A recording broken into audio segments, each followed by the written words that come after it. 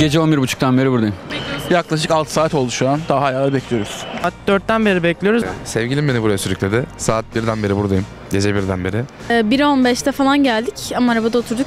İşte 4.30 gibi falan sıraya girdik. 3 saat falan da buradayız. Ee, Saat 4'ten 4.30'dan beri bekliyoruz. Yani gece 3'ten beri bekliyoruz burada.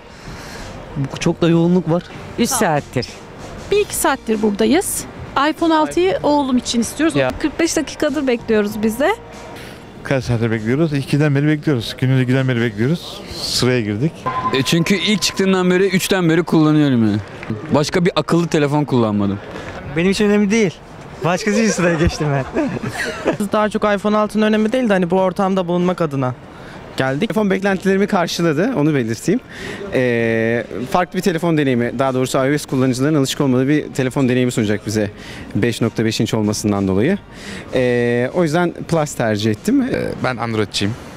Orta tuşum bozuldu. Orta tuşum bozuldu telefonun. O yüzden. Biz de meraklıyız işte yurt dışından geldik, Romanya'dan geldik. Üçümüz de iki tane alacağız. Diğerleri başkalarına. Bakalım alalım mı görelim diyorum ya. Sormayın sormayın. Ben zaten hanımdan gizli buradayım. Ben başkasını alıyorum zaten benim için o kadar çok önemli değil. 2 saattir bekliyoruz. Sıranın zaten sonuna denk geldik. iPhone 6 bir hastalık yani. Apple'ın bütün ürünlerini hani çıktığında ilk almak bir ayrıcalık olduğu için sıradayız. Başka bir nedeni yok.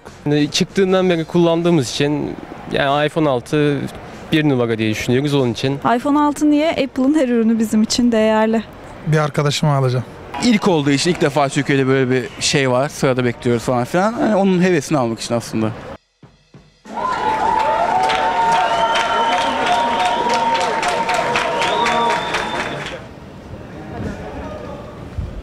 Evet açalım. Evet. Evet bu iPhone 6 Plus işte. Şöyle tutayım şöyle. Bakmak isterseniz. Çok iyi yalnız. Bayağı iyi.